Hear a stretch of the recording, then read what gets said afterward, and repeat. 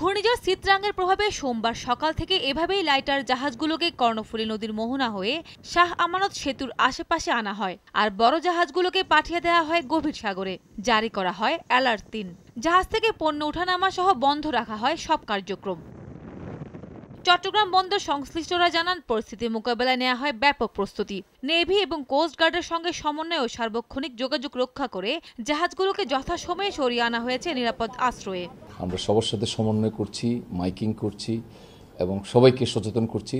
সর্বোপরি navy coast guard সহ উপকূলীয় যে সংস্থাগুলো আছে সবগুলোকে আমরা আহ, সবার সাথে সমন্বয় করছি এবং আমরা তাদের সাথে প্রতিনিয়ত যোগাযোগ রক্ষা করছি। প্রস্তুতির কমতি ছিল না পায়রা বন্দরেও। শুরু থেকেই ঝড়ের গতি প্রকৃতি লক্ষ্য করে বন্দর সুরক্ষায় সতর্ক অবস্থানে ছিল কর্তৃপক্ষ। নিরাপদে সরিয়ে আনা হয় মালামাল সহ বন্দরে কর্মরত সবাইকে। আমরা অনেক আগে থেকেই কিন্তু আমাদের যে সুরক্ষার জন্য বিভিন্ন কার্যক্রম সেটা গ্রহণ করেছি। বন্দরে যে নিজস্ব যে জাহাজগুলো আমাদের আটটা জাহাজ প্লাস ছয়টা ড্রেজার চোদ্দটা জাহাজকে আমরা সরিয়েছি।